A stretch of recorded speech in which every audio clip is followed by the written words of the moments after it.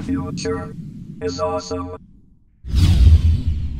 Hey futurists, so I'm here right now with Michael. He's the CEO of VoltSet. It's a really great company. It's making all kinds of open sourced technology pieces. Michael, care to tell us about what your products do? Sure.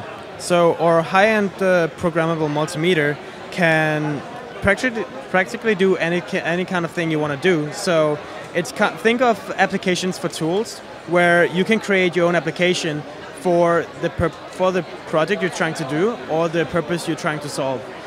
So. And what is the most interesting thing about this type of technology? You know, who are using it the most right now? Right. So there's like three categories. There's the makers, the education, and the industry. In the industry, you have a lot of interest in the cloud-connected multimeter that su submits the data online to the cloud, live from when you take it.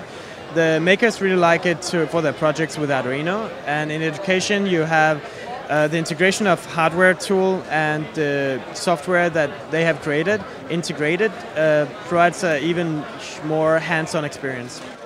Excellent. So can you show me how it works? Sure. So essentially, you plug in the, uh, let me see, the USB into the phone, and the application loads up, and it's that simple. Very cool. Well, this is definitely the future. And Michael, where can we find more information about your company? You can go to voltset.com to find all the information you might need. Perfect. Well, thank you so much. And for more information, you heard it, visit voltset.com. And thank you so much. Bye.